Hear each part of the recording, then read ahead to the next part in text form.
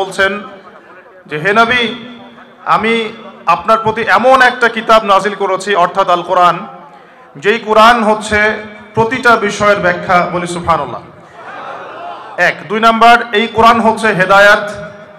পুরো মানব জাতির জন্য আল কোরআনে আছে হেদায়াত, আলহামদুলিল্লাহ। এরপর আল্লাপাক বলছেন, শুধু হেদায়তই নয়, কোরআন হচ্ছে রহমা, অর্থাৎ দয়া, অনুগ্রহ, আলহামদুলিল্লাহ। এবং বুসরা আলীল মুসলিমিন, যারা মুসলিম হবে, অর্থাৎ কোরআন সুন্নার সামনে আত্মসমর্পণ করবে, নিজের ইচ্ছাকে সমর্পণ করবে, তাদের জন্য কোরআন হচ্ছে বুসরা বা সুসংবাদ, আলহামদুলিল্লাহ। তো এই আয়াতের মধ্যে আমরা একটা বিষয়ে লক্ষ্য করি। আল্লাহ পাক বলতে চাচ্ছেন যে, আল্লাহ রবুল্লা আলমিন কোরআনুল করিমের মধ্যে প্রতিটা বিষয়ই ব্যাখ্যা করেছেন। তার মানে আমরা কীভাবে এবাদত করব, কোরআনে বলা আছে। আমরা কীভাবে কোরআন তেলাওয়াত করব তসবি তাহলিল করব, জিকির আজগার করব, কোরআনে বলা আছে। আমরা কীভাবে পরিবার গঠন করব, কোরআনে বলা আছে। আমরা কীভাবে সমাজ চালাবো, অর্থনীতি চালাবো বা পলিটিক্যাল সিস্টেমগুলো ডিল করব, নিঃসন্দেহে কোরআন এটা বলা আছে। আমরা মানব বা মানব না, সেটা ইচ্ছা এখতিয়ার আমাদের। এই স্বাধীনতা আল্লাহ আমাদেরকে দিয়েছেন, কিন্তু আল্লাহ পাক বলছেন, আল্লাহ রবুল্লাহ আলমিন আল কোরআনে প্রতিটা বিষয় ব্যাখ্যা করেছেন বলেন সুফান দ্বিতীয় প্রশ্ন হচ্ছে এখন, কোরআন কি শুধু কোরআন দিয়ে বুঝলেই হবে নাকি হাদিসেরও প্রয়োজন আছে? উত্তর হচ্ছে রসুল্লাহ সাল আলী আসাল্লামের সুন্না এবং হাদিসগুলোর প্রয়োজন অবশ্যই আছে। দলিল, আল্লাহ বাকসুরা হাসর এর সাত নম্বর আয়াতে বলছেন, ওয়ামা ফখুজো রসুল্লাহ সাল আলী আসাল্লাম তোমাদেরকে যা যা দিয়েছেন সব গ্রহণ করো। এটা নিয়ে বাক বিতনটা করো না। রাসুল যা যা দিয়েছেন, সব নিয়ে নাও, চুপচাপ নিয়ে নাও। রাসূলুল্লাহ সাল্লাল্লাহু আলাইহি ওয়াসাল্লাম যা যা থেকে নিষেধ করেছেন, চুপচাপ ছেড়ে দাও।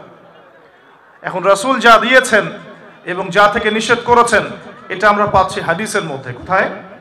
হাদিসে। অর্থাৎ কোরআন এবং হাদিসকে মিলেই হলো ইসলাম। আর ইসলামকে আল্লাহ বলছেন, আল্লাহর কাছে একমাত্র গ্রহণযোগ্য দিন বা কমপ্লিট কোড অফ লাইফ জীবন ব্যবস্থা, আল্লাহ পাক আরও বলছেন, এই ইসলাম ছাড়া অন্য কোনো দিন আল্লাহর কাছে গ্রহণযোগ্য নয়। কেউ যদি ইসলাম ছাড়া অন্য কোনো দিন তালাশ করে কালেও তার কাছে কোনো আমল কবুল করা হবে না। আল্লাহ পাক এটাও বলছেন, সুরা মাঈদার তিন নম্বর আয়তে গিয়ে, যে কোরআন এবং সুন্না কেন্দ্রিক এই ইসলাম হচ্ছে একটা পরিপূর্ণ দিন, যেখানে সংযোজন বা বিয়োজনের কোনো সুযোগ নাই। এখন, আল্লাহ পাকের কথা যদি সত্য হয় তাহলে আমরা যে বিশ্বে বসবাস করছি, এই বিশ্বেরও প্রতিটা বিষয়কে কোরআন সুন্না দিয়ে ব্যাখ্যা করা যাবে কিনা? এই বিশ্বে আমরা দেখছি জালেমদের উত্থান, মজলুমদের আর্তনাদ, এটা কোরআন সুন্নায় আছে কিনা তাহলে? এই বিশ্বে আমরা দেখছি আল্লাহ রবুল আলমিনের যে বিধান যে ভিতরের একটা অর্থ, যে আল্লাহ পাকের বিধান ছাড়া কোনো বিধান চলবে না, অথচ আমরা বিশ্বে দেখছি যে আল্লাহর বিধানকে পাশ কাটিয়ে মানুষ, মানুষের রচিত বিধান দিয়ে বিশ্ব চালাচ্ছে। এই সমস্যার সমাধান কোরআনে আছে কি নাই?